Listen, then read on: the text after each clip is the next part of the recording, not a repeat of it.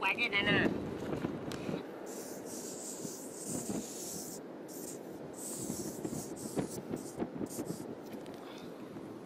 à, bởi vì nó nó nó nó nó, gọi là ốc viết là nó viết được vậy đó quý vị.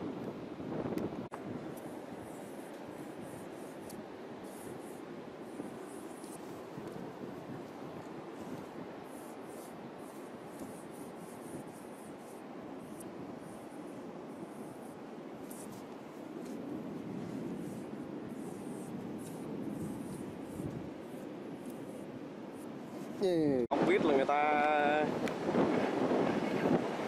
này dân chụp hình người ta mê lắm. Đây, đây đây đang có một ông ờ, thợ chụp hình đây ông ra ông xanh ờ, cảnh đẹp bờ biển ờ, Thừa Đức này. Ốc to ốc nhỏ cái này ốc nhỏ. Đó cái gì không quá. Dạ chào anh anh ờ,